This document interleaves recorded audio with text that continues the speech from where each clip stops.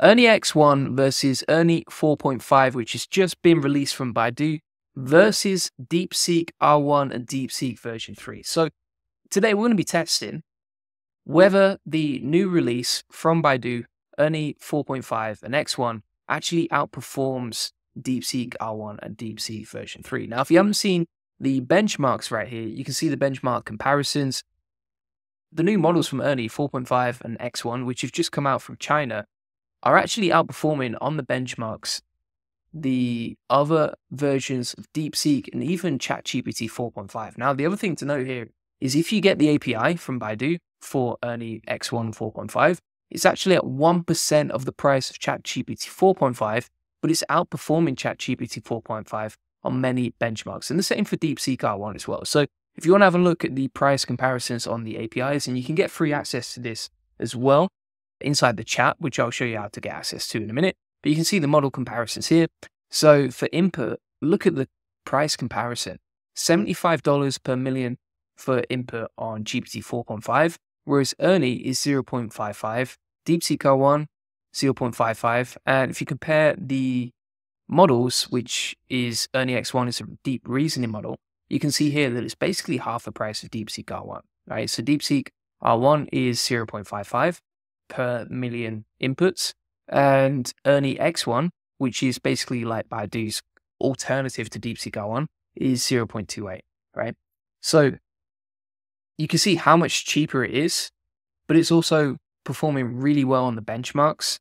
So this is going to be very interesting. You can see the benchmarks here. So if we have a look, we've got Ernie 4.5 versus DeepSeek version 3. So these are comparative models along with GPT 4.0 and GPT 4.5. And you can see on many benchmarks, for example, like C eval or for example, C maths, you can see here that Ernie 4.5 is outperforming DeepSeek and ChatGPT in many ways. So let's compare them side by side. The first thing that I would say that is a little bit annoying, it's not perfect, right? So for example, if you actually go on to DeepSeek, DeepSeek is all in English. It's really accessible. It's quite easy to sign up for an account with email.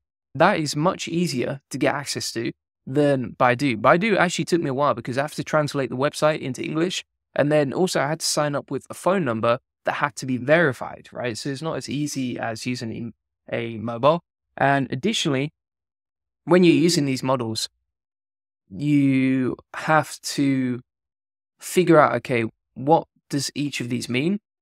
And it's just not as simple. Also, for signing up to the API, I don't even know how to do it. But I do know how to sign up inside the chat, which you can see right here. And you can get that available here. I'll leave a link inside the AI Profit Boardroom to the SOP and everything like that. So if you want to get access to all this, just check out the AI Profit Boardroom. But yeah, let's compare the models now side by side. So if you want to understand, okay, which is the comparative model, right? So if you're using these models, let me pull this up here, and we're going to translate this to English. So make sure that in the top right here on Google Chrome, you select from Chinese simplified to English if you're wanting to use this in English. Essentially, in the top left, you can select between the different models, right? So if you want to use X1, is basically like DeepSeek R1, right? So these are the comparative models. This is a reasoner model, and the same with DeepSeek R1. If you want to compare, for example, Baidu's model for AI versus DeepSeek version 3, which is a lot faster but not a reasoning model, then you would select 4.5. So this is Ernie 4.5, and we can actually compare them side by side versus DeepSeek as well, right? So if we go to deepseek.com, then we're going to deselect R1, and this will allow us to use a comparative model versus DeepSeek versus Ernie 4.5. So this is Ernie 4.5, and then over here we have DeepSeek version 3. So let's run a few tests in terms of how this performs side by side, which one performs the best, etc. And one of the first things we're going to do is we're going to test this for writing skills. So I'm going to compare DeepSeek versus Ernie for writing. Okay. So what we're going to say here, let me grab this prompt. And this is one of my favorite prompts for creating SEO content.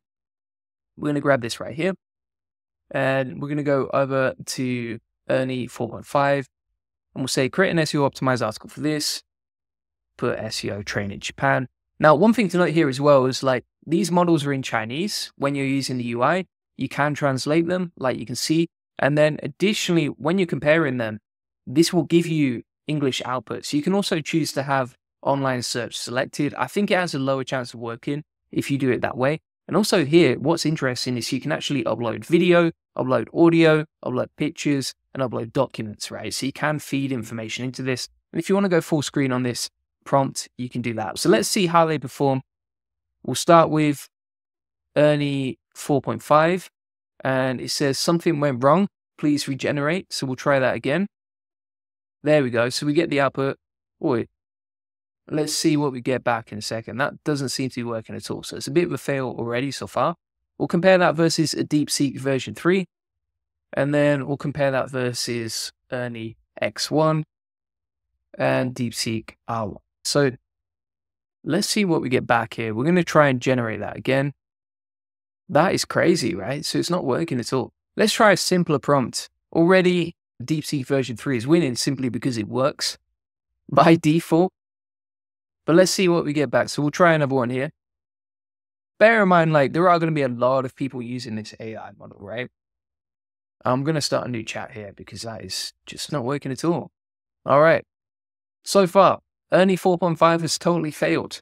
DeepSeek version 3 has beaten it on the challenge. Let's have a look now at DeepSeek R1 versus Ernie X1. Hopefully it does better than Ernie 4.5. The thing to note here is like this just got released 24 hours ago, so I guess there's a lot of people using this and that might overload the servers. But at the same time, you would expect this to work. Look at that. So if we compare the thinking and action process, it really doesn't matter what happens on the benchmarks. If you compare it in reality and this model is not working properly, then, you know, what's the point, right? This would waste your time if you came to using it properly. So bit of an issue right there, bit of an issue. What I can do is pull up some examples of what we've created earlier today using these models. But if this doesn't work and DeepSeek R1 does work, then by default, DeepSeek is winning, right? So far. Now, let's start up a new chat here. And what we're going to do is we're going to run through some of the previous examples that I've used Ernie 4.5 and Ernie X1 for, right? Like you can see. So what we asked it to do originally was create a self-playing snake game using HTML with simple GUI. All right. So far, DeepSeek R1 and DeepSeek version 3 have already won the first challenge on writing. Let's test it again. And now what we're going to do is we're going to say create a self-playing snake game using HTML with a simple GUI inside DeepSeek R1. And we'll do the same inside DeepSeek version 3. And we'll see what we get back. Now, some people asking like, how do you actually build the interactive games, etc., desktop games applications? So this is how you do it. So you just keep the prompts really simple and you ask it to do that, right? Now, if you want another tool for this, we've actually got something inside the AI Profit Boardroom, which is a custom made tool for building out stuff like this, right?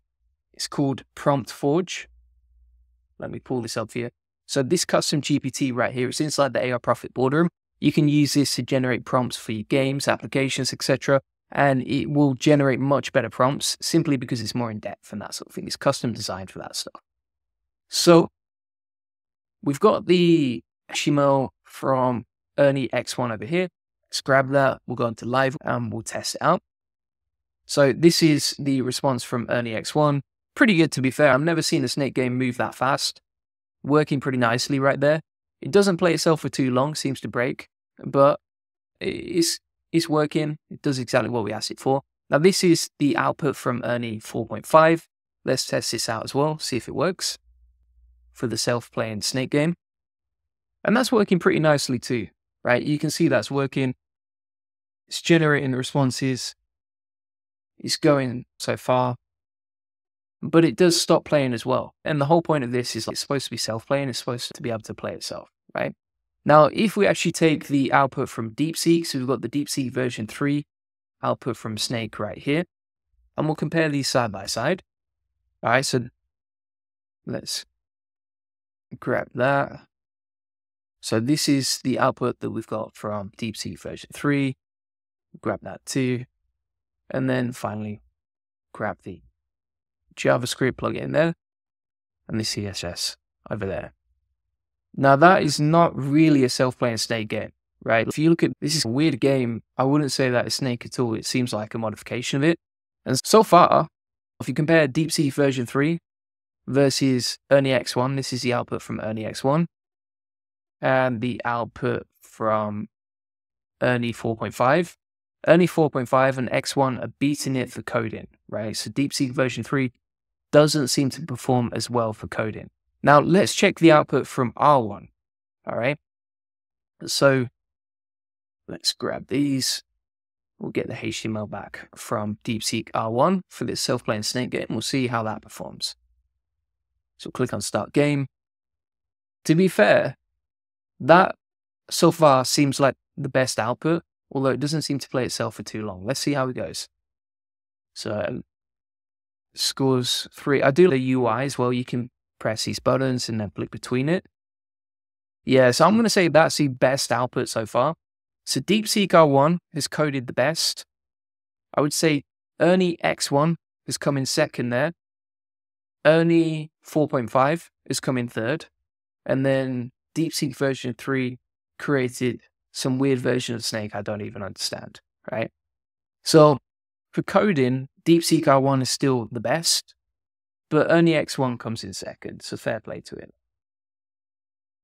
Now what we can do is we can compare side by side versus some other stuff. So let's see if this actually works. We're going to grab another prompt here. And this is going to be a reasoning challenge, right? So basically we're going to use the winter apple puzzle. And we'll say there's a tree on the other side of the river. In winter, how can I pick an apple? And what we're trying to compare here is the logical reasoning. That, you know, does it recognize that apples don't grow in winter? and also its creativity in problem solving. So does it give us solutions? Does it give us lots of solutions, etc. Right? So we're going to grab this prompt, like, and we'll plug that into Ernie X1, and we'll see if this actually works. I don't have high hopes for it, but we'll see if this works or not. And we'll do the same inside Ernie 4.5 as well. Maybe you can't run both models at once. Maybe that's the issue. I'm going to come back to X1 in a minute. But let's try this is it working or not working? Yeah, so Ernie 4.5 is just broken. That is lost by default. Let's try X1 now. So this is the deep reasoning model. Hopefully that does better. The thinking mode is really weird. Like the outputs here. Maybe you would get better outputs in Chinese if you spoke simplified Chinese, but we're comparing these things in English, right? We're comparing these models in English. And all the announcements were in English on Twitter as well, right? Like you can see. So let's see what we get back. This doesn't really seem to make much sense in terms of reasoning. So it's like alternative methods using, and it just cuts off mid sentence. Another idea is, what about using a, and then it cuts off. And then it says something went wrong, please regenerate. All right, total fail. Total fail. okay, so let's try now. We'll try a DeepSeek version 3 and we'll see whether that can solve the job. So far, X1 and Ernie 4.5 have totally failed on this.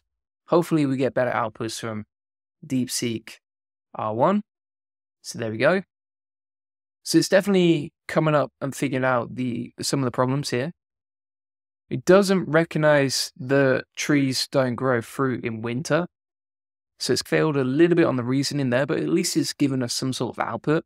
We'll compare it versus DeepSeek R1 now as well. And we'll see what we get back here. So it's thinking about things. Still can't believe that X1 and Ernie 4.5 are just not working. Maybe when they're actually working, they're better and outperform DeepSeek, but so far, I think all of the promises that we've got right here in terms of benchmarks just don't seem to be reasonable in reality if the model just doesn't work. DeepSeek R1 seems to be struggling here as well, so we've got no outputs from DeepSeek 1, which is a bit of an issue too. The other thing that I'm going to say here, whilst we're waiting for that to load, is that Baidu's models are not open source, right? They are planning to be open sourced eh, from June the 30th so far. Yeah, DeepSeek R1 has failed there. So the only model that actually worked here so far was DeepSeek version 3. So DeepSeek version 3 comes out on top for the reasoning challenge just by default, even if it didn't recognize the trees don't have fruit in winter. Now, let's come on to two other ideas here that make DeepSeek still a better version, right? So if you type in DeepSeek into OpenRouter, you've got a bunch of different APIs you can use, both distilled via Llama and also for free, right? So for example, DeepSeek R10 And there seems to be like newer and newer models coming out all the time. So you can see, for example, DeepSeek R10 was created just 11 days ago. And you can get a free API from OpenRouter, and then you can use that to build your AI agents or tools or applications, whatever you want, right? Whereas if you type in Ernie, you won't find Ernie on OpenRouter. So it's not very accessible. And the same on Ollama as well. So if you want to use DeepSeek in Ollama so that you can host it locally, you can run it locally, etc., then you've got all these different versions of DeepSeek that you can run locally, right? Which is awesome because then they can be offline. You got more privacy safety. You can use this on like AI agents with our Ollama integration, which is awesome, right? It's completely free as well. Whereas if, for example, you type in Ernie, you're not going to find Ernie X1 or Ernie 4.5 on Ollama either. So it's not available on OpenRouter and it's not available on Ollama. So it's not that accessible.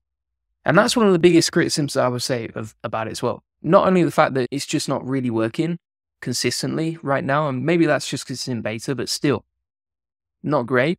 Whereas if, for example, you're using DeepSeek, it's more reliable, you can access it in more places, you can host it locally, it's open source, etc. That just makes it a more powerful model overall. So thanks so much for watching. If you want to get access to my courses on how to use AI, how to run it locally, how to set up OpenManus locally, we actually have a full three hour course on DeepSeek that you can see right here, along with all of our best LPs and AI agents. With DeepSeek, feel free to get that link in the description.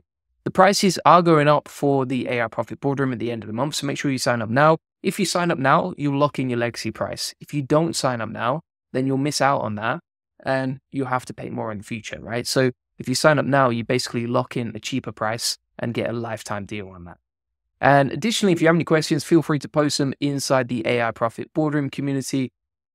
Inside here, we have 464 members ready and willing to help you out. So feel free to get that link inside the comments and description. And also you can jump on weekly Q&As with us and ask any questions you have. Additionally, if you want to get a free one-to-one SEO strategy session, feel free to get that link in the comments description. On this free SEO strategy session, we'll show you how we take websites from zero to 145,000 visitors this month and generate hundreds of thousands of dollars in sales on autopilot based on what's working for us and our happy clients. You'll get a custom tailored link building plan to generate more leads to sales from your website. You will discover the secrets of SEO link building, right? So any questions you have one to one, you'll learn the best link building strategy for your website based on what's working for us and our happy clients, like you can see right here. Feel free to get it, link in the comments description and appreciate it.